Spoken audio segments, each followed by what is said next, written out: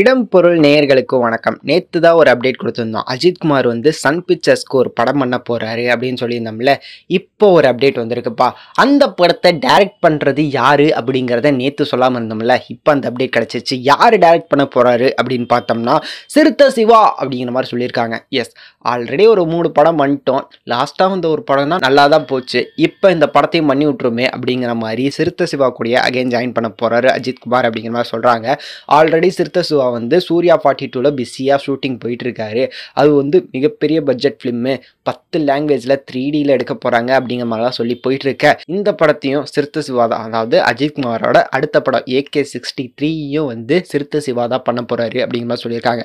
எப்படியும் வந்து AK sixty three வந்து ஸ்டார்ட் ஆகிறதுக்கு இன்னும் ஒரு ஒன்றரை வருஷத்துக்கிட்ட ஆகும் அப்படிங்கிறது இருக்கிற ஏன் அப்படின்னு பார்த்தோம்னா AK sixty two Vignesh Shivan project இருக்குல்ல அது வந்து அடுத்தது போக போகிறாங்க அதுக்கடுத்ததாக வந்து சிறுத்தை சிவாட்டியே வந்து சூர்யா ஃபார்ட்டி டூ இருக்குல்ல சூர்யா ஃபார்ட்டி டூ இருக்குல்ல அந்த படமும் முடிச்சுட்டு வரதுக்கு கரெக்டாக இருக்கும் அப்படிங்கிறதுனால ஒரு ஒன்றரை வருஷம் கழிச்சு பண்ணுவாங்க அப்படிங்கிற மாதிரி எதிர்பார்க்கப்படுகிறது. ஸோ வெயிட் பண்ணி பார்க்கலாமே எப்போ இந்த படத்தை ஸ்டார்ட் பண்ண போகிறாங்க இது அஃபிஷியலாக எப்போ கன்ஃபார்ம் பண்ண போகிறாங்க அப்படிங்கிறலாம் இந்த வீடியோ பிடிச்சிருந்தா லைக் பண்ணிட்டு இந்த மாதிரி அப்டேட்ஸ் நீங்கள் தொடர்ந்து பார்க்கணும் கேட்கணும் அப்படின்னு நினச்சிங்கன்னா மறக்காமல் சப்ஸ்கிரைப் பண்ணிடுங்க அப்போ தான் நாங்கள் போடுற வீடியோஸ் உங்களுக்கு ரெகுலராக வரும்.